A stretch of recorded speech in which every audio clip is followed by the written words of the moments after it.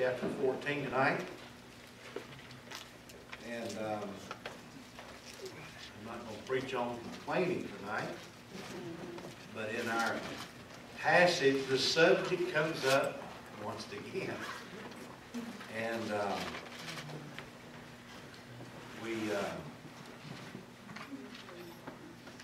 we want to, um,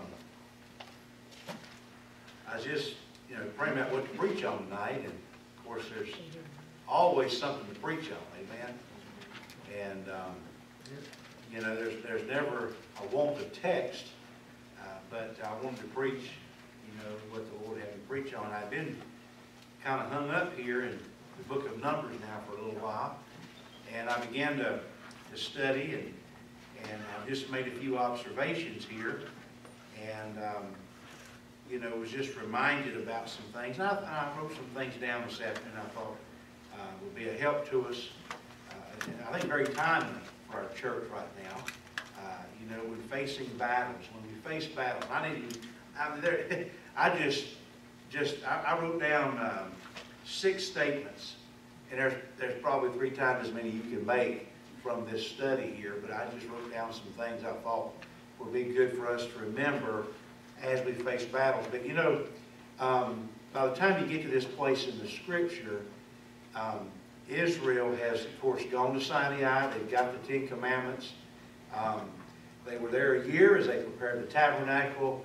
Uh, of course, the golden calf episode was there.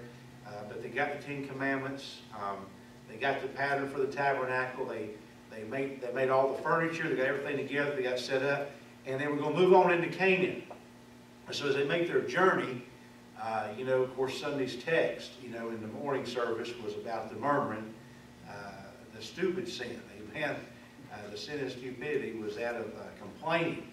And um, and so we, we preached out Numbers chapter 11. When you get over here and um, God tells them to send some folk into the, into the land to spy it out.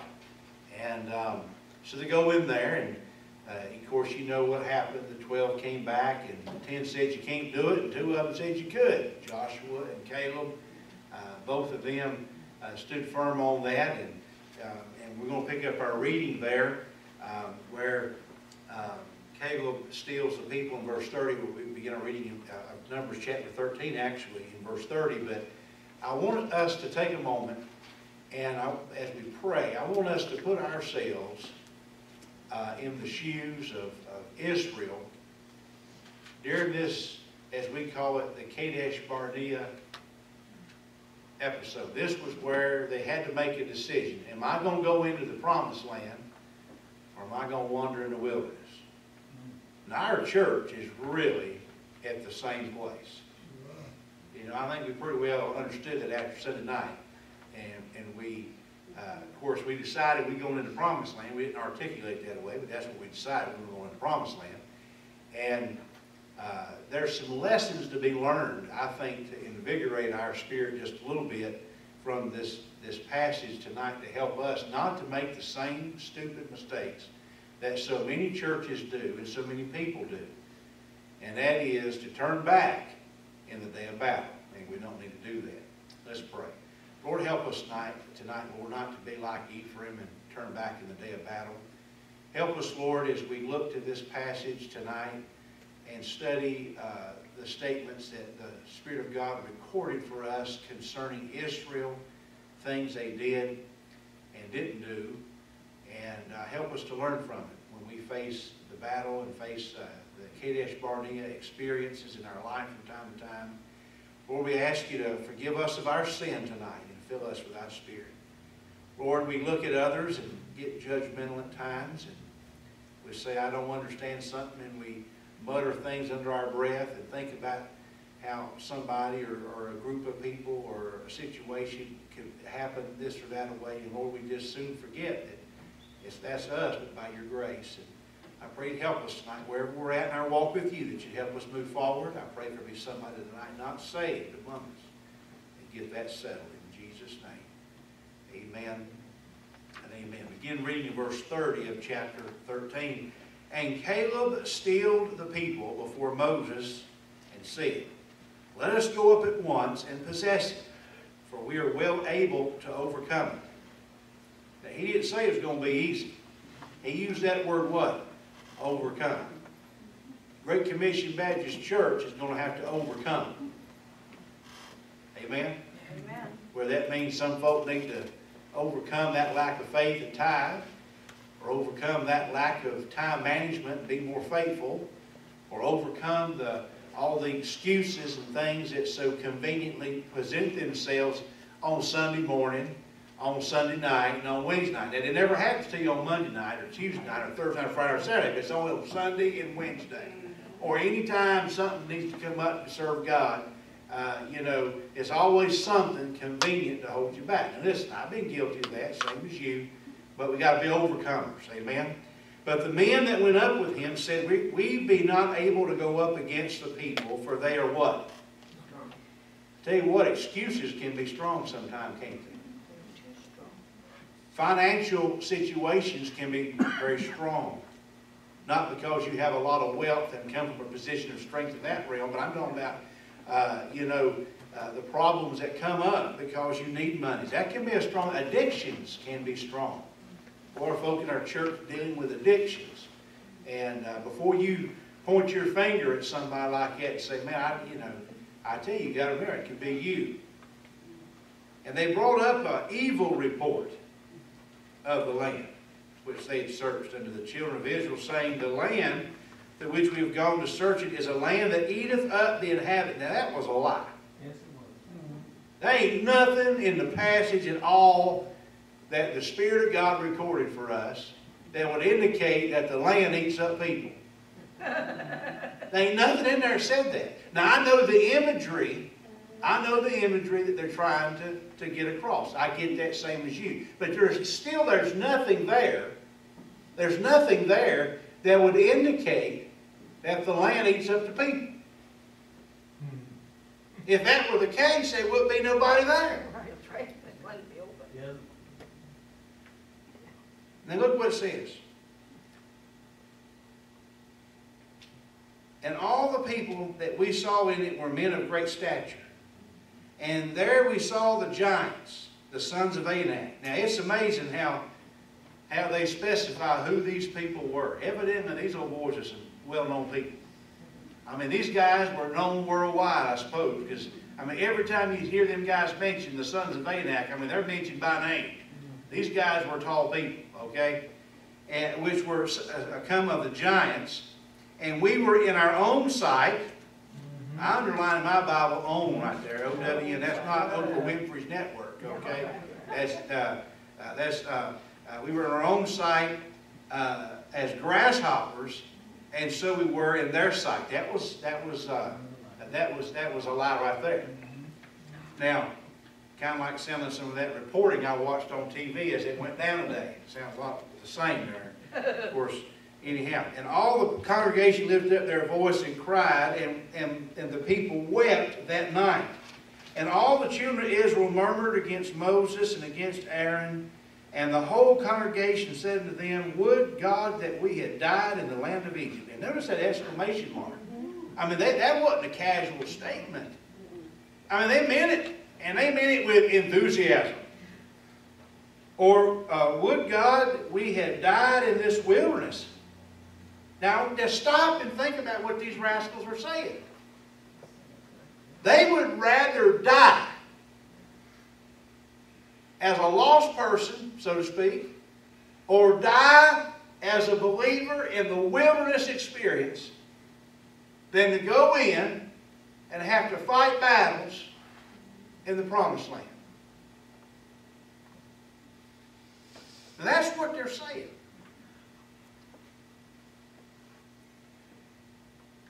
And wherefore hath the Lord brought us into this land to fall by the sword, that our wives and our children. Boy, that's a slap in the face of God. I mean, He got you this far, He can't get you into Canaan? Were it not better for us to return to Egypt? And they said to one another, Let us make a captain and let us return. Man, they, they had a coup going on. Now, regardless of what you think about the stuff going on in our, in our country today, uh, James Comey and whoever else, them, them rascals that was trying stuff, they, they ain't got nothing on these people right here. Man, they make no bones about it. They didn't hide it in the corner. They didn't discuss it amongst themselves. They said, hey, they just made it plain. We're going we're gonna find somebody lead us back to Egypt. Then Moses and Aaron fell on their faces before all the assembly of the congregation of Israel, the children of Israel, and Joshua the son of Nun, and Caleb the son of Jephunneh, which were of them that searched the land, rent their clothes, and they spake all in the com- company of the children of Israel, saying, The land which we passed through to search it is an exceeding good land.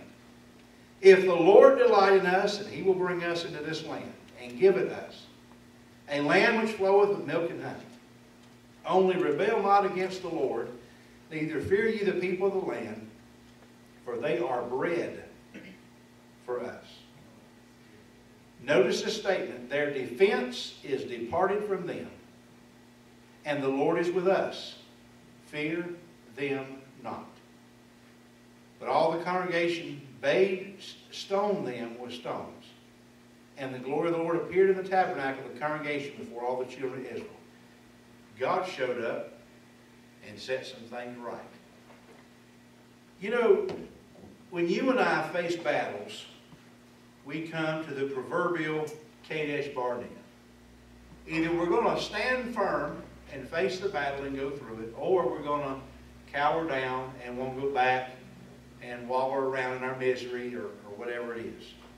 And most of the battles in my life where I find myself cowering down, won't turn back, if, if I was honest about it, I'd have to say that it's just because I feared something or someone. And if we take a step back and think about the many decisions we make day by day, are we making decisions based upon faith or are we making decisions based upon fear? Now you ask yourself that question. Let me, let me just make some observations here and, and just let it be what they may, okay? If you go back in, in, in verse number 33 of Numbers chapter 13, and there we saw the giants, the sons of Anak, which come of the giants. And we were in our own sight as grasshoppers, and so we were in their sight. Remember, here's something I wrote down. Remember that things are not always what they appear to be. Now, Satan loves to paint a picture in front of you and I that is not necessarily reality. Were they were there giants there? Absolutely. Were the sons, the infamous sons of Anak there? Absolutely. Were they tall and strong and, and had a lot, a lot of military prowess? Absolutely. But the problem was they saw the strength of the giants and they failed to recognize the strength of God. I mean, how soon people forget that a whole army of people, and in that day, the Egyptian army was a, was a force to be reckoned with. And that entire army was drowned in the Red Sea by the hand of God. Now, they saw that. And now they're wanting to cower back and go back into slavery into Egypt. They're willing to sell their soul and go back to Egypt or wander in the wilderness and die like so many others did of unbelief. They're willing to do that rather than stand up to the giants that they saw in the land.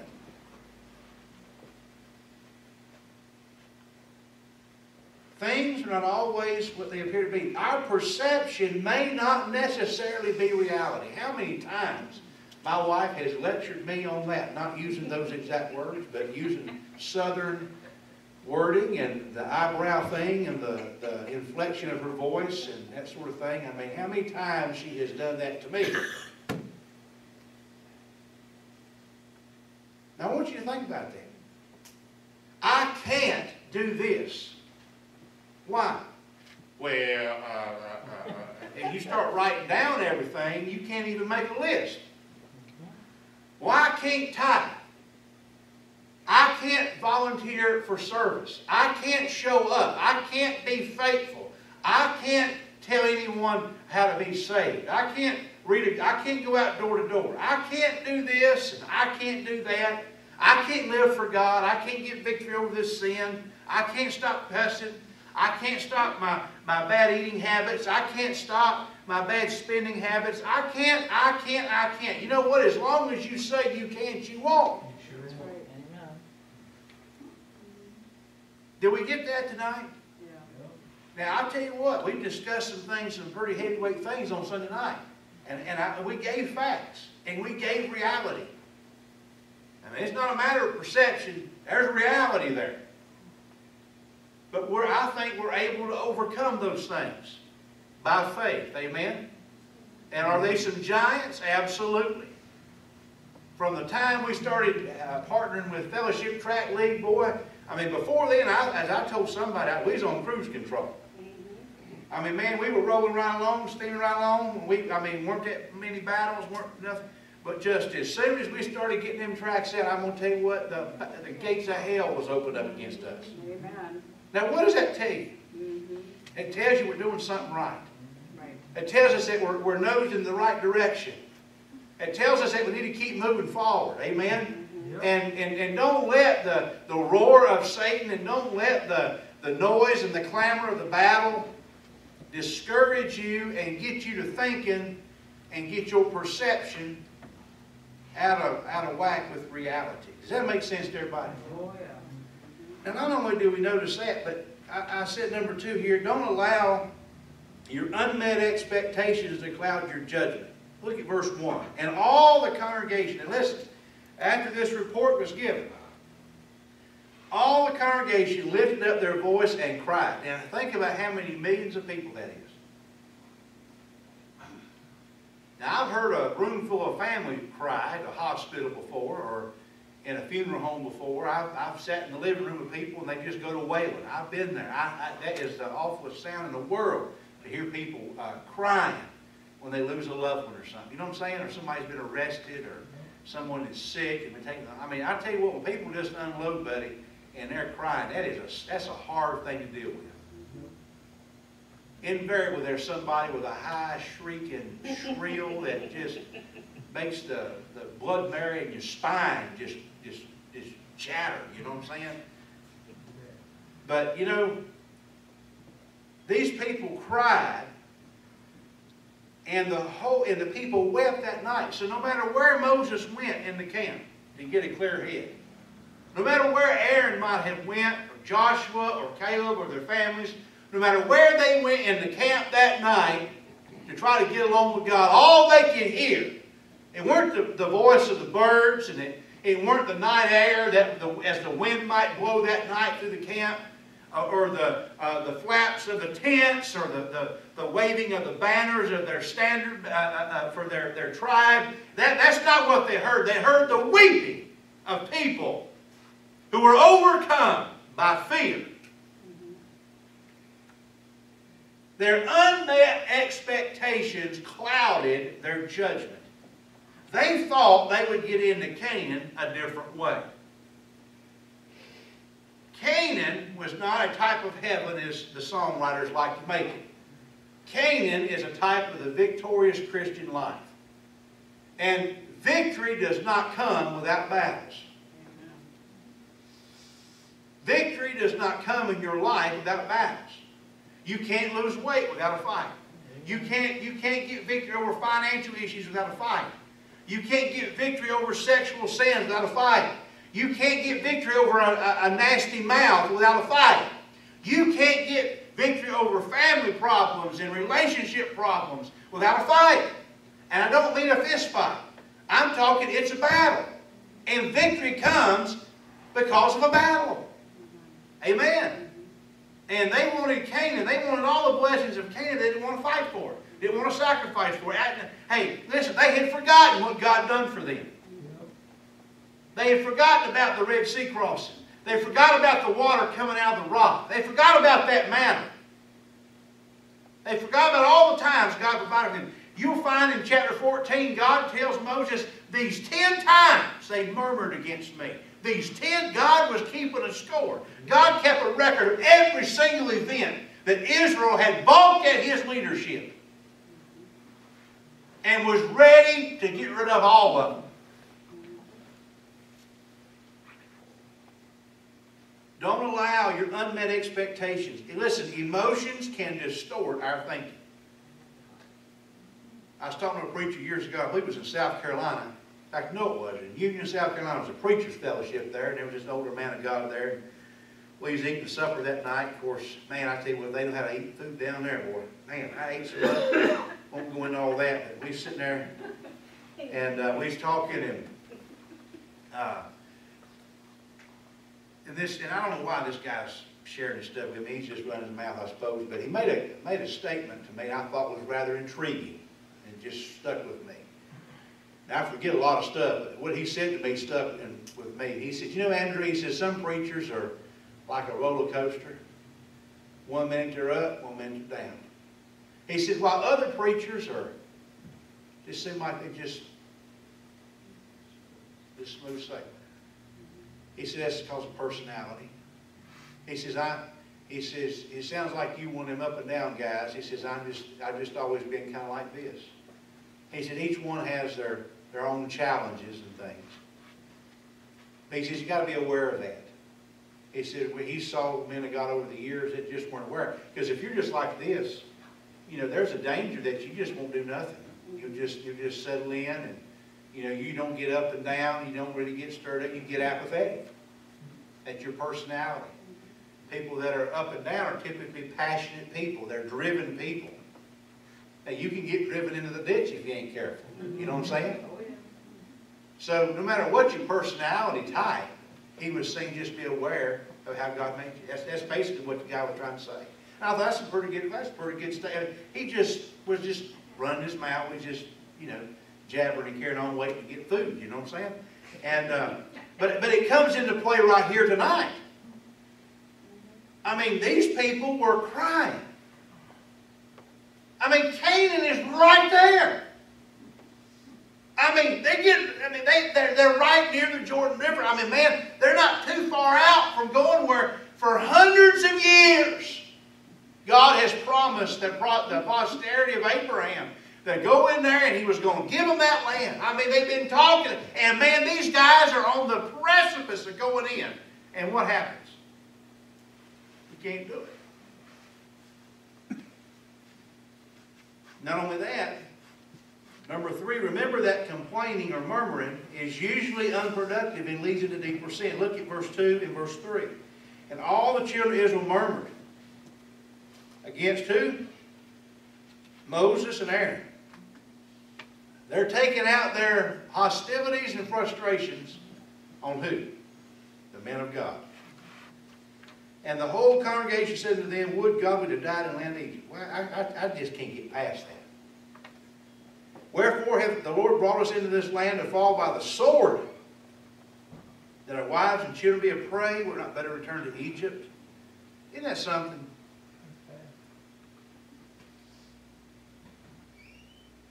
You know, when you start murmuring and complaining,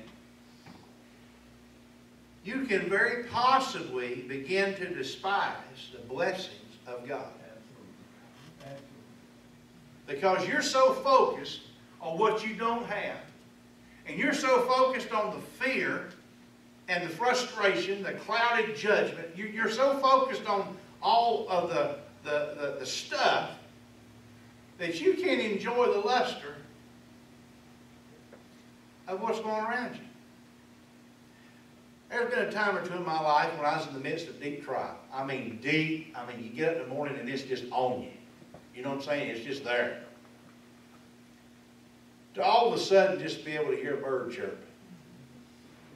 And just for a few minutes you get to focusing on the sunshine or the clouds of the sky. You know, I like to look at the clouds, you know, or you, or all, you can just focus on that bird right outside the window and your mind just escapes just for a few minutes. You know what I'm saying? Boy, isn't that a blessing. But, but, when, but when you're murmuring and complaining, you can't even do that. See, they had, they had had such a bad problem with complaining and murmuring and muttering under their breath. They was willing to sell their soul. They was willing to die like the unbelievers, that mixed multitude who come out of Egypt. They was willing to, to, to die an awful death in the wilderness than to go into Canaan. It does not make any sense whatsoever. But you know what? That's us, but by the grace of God. Wrote something else down. Don't forsake proven counsel and leadership. Look at verse 4. And they said to one another, Let us make a captain and let us return into Egypt. Man, you talk about a coup. Talk about a mutiny. Talk about a revolt. Listen, that mess in Cuba years ago with Castro ain't got nothing on this. What's going on in Venezuela right now? Uh, trying to change governments down there. That ain't got nothing on this. Oh, preacher, you're just embellishing. No, I'm not. Listen, this ain't about tear gas. This ain't about uh, trying to overthrow com communism and stuff like that. Let me tell you, this right here was a revolt against God Himself. God brought this nation out of Egypt. He is going to displace those nations that are wicked and have gone to seed there in Canaan. God is going to displace that crowd because they have been disobedient. Excuse me. And God is going to use Israel as the sword because of the sin of those nations. And God's going to displace them. And God told, Egypt, or told Israel eventually, and listen, you can stay in the land as long as, as you listen to me, but as soon as you don't, I'm going to have other nations drive you out. Just, just basically just like what they had been used to drive those other nations out. And that's what eventually what happened. But this was a mutiny against God. This, this was a revolt. This was a coup. They're willing to stone Moses and Aaron right there at Kadesh Barnea. They're willing to do it right there. than to go into Canaan by faith. How many churches? How many churches? Though they didn't pick up a stone literally and throw it and hit their preacher upside the head. But how many people have done that or at least went through it in their mind because they would not go on by faith? How many people have left the church and jumped ship because they couldn't agree with something that really didn't amount to anything and go off to find out greener grass? Let me tell you something. You best be careful about looking for greener pastures and greener grass. I have found it to be the truth that the greenest grass usually grows right over the septic tank.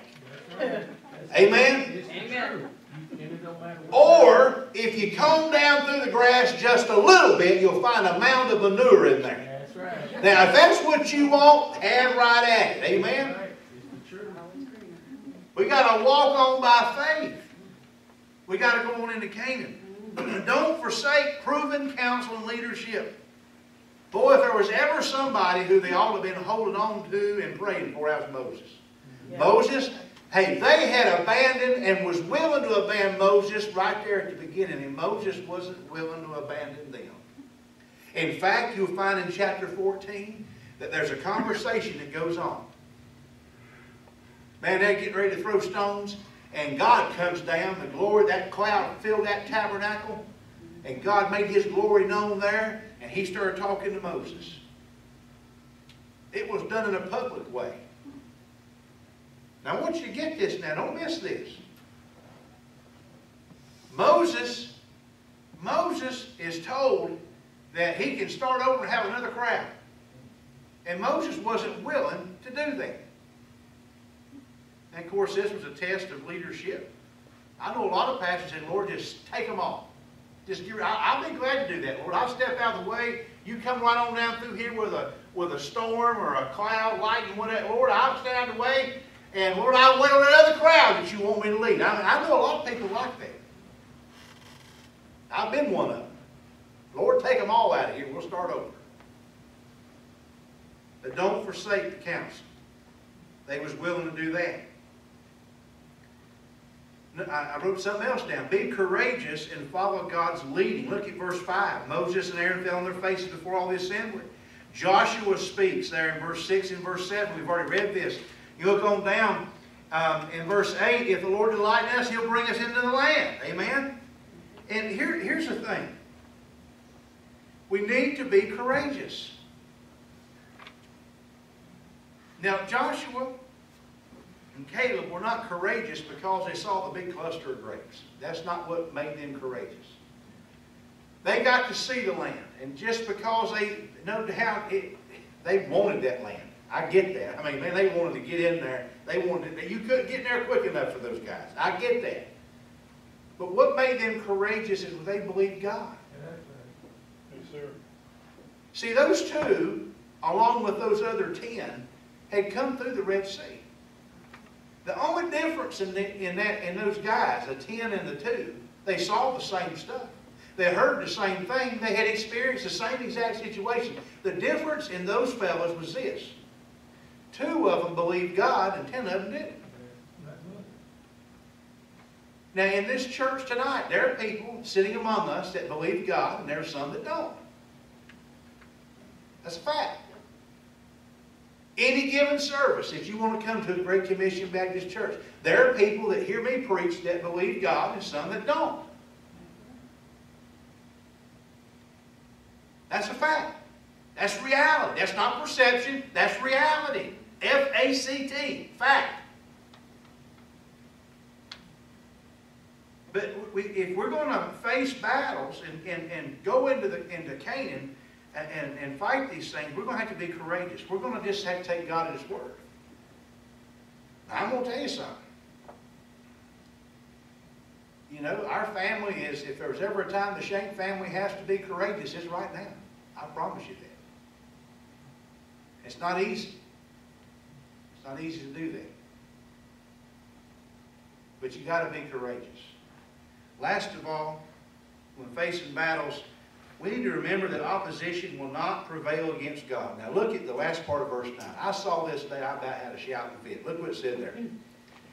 Their defense is departed from them. Who told Joshua that? I don't think anybody told him that. I just believe that he believed that. It didn't matter how strong them giants were. Didn't matter what they had relied upon to make them successful in battles before. Talking about the sons of Anak. It, I mean, evidently that was the, that was the, the, the biggest crowd they was worried about was in giants. They heard so much. And, and Joshua is saying, their defense is departed from them. Their defense. Now, I, I can't be for sure about this, but do you remember in the book of Joshua where they go in there and Rahab tells them how the people of Jericho had been for years and years and years worried about this crowd out in the wilderness?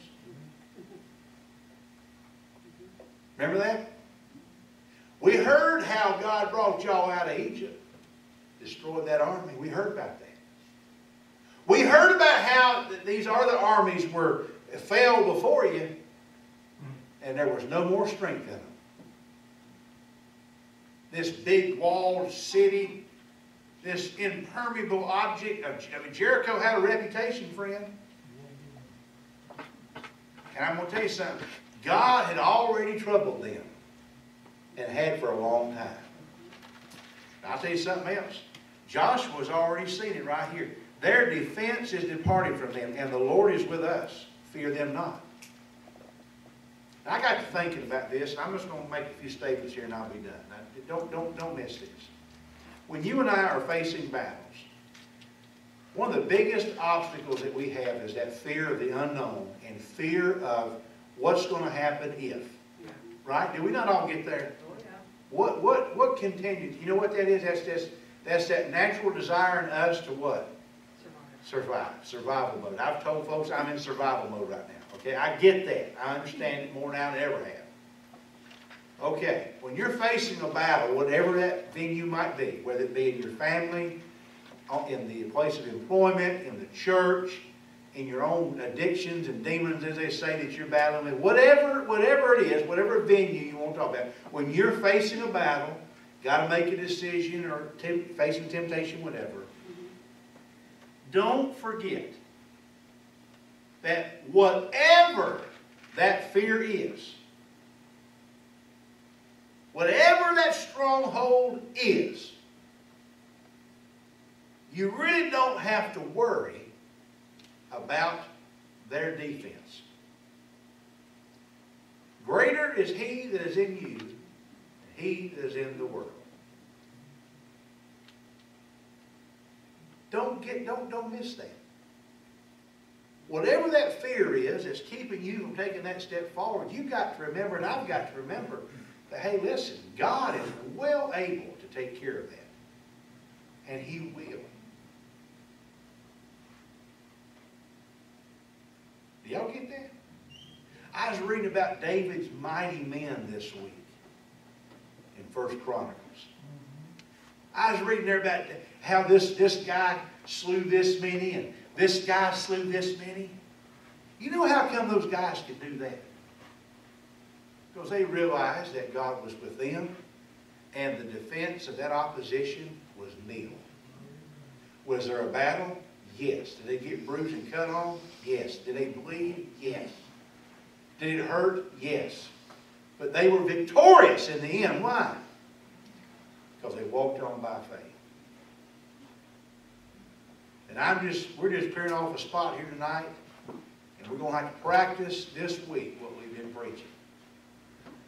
God is able to help every single one of us, regardless of our age, regardless of our physical stamina, regardless of how much money we got in our bank accounts, regardless of what clothes we have on our back, regardless of how smart we are, regardless of any of the things that we like to use as measuring sticks or barometers.